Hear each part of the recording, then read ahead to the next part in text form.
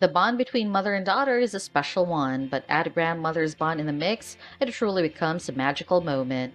Fans got to witness such a magical moment when Lyssa Chapman recently took to Instagram to celebrate her daughter, Mady Galanti's 12th birthday. As she's known from the hit A&E show Dog the Bounty Hunter, baby Lyssa shared a video of her little daughter on Saturday, August 7.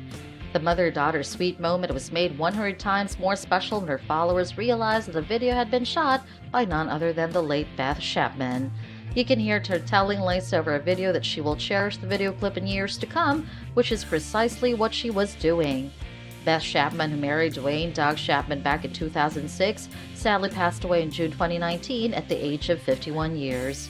The video clip she shot over a decade ago shows Lyssa breastfeeding Mady just moments after Mady's birth.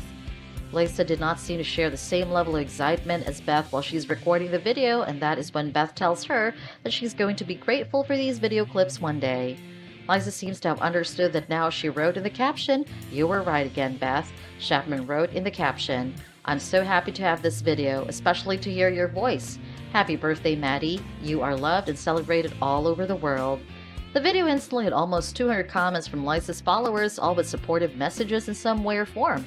Many were simply happy birthday wishes to Mady, while others were in awe over Beth's words. She's right, miss her voice. Happy birthday to sweet Mady, one fan wrote.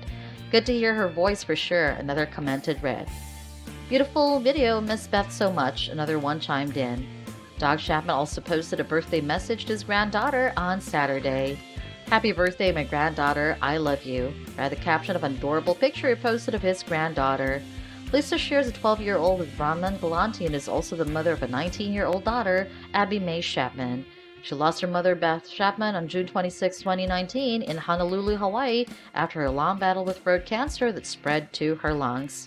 She starred in the hit Dog Bounty Hunter series and then also appeared in the spin off series Dogs Most Wanted on WGN during her final moments.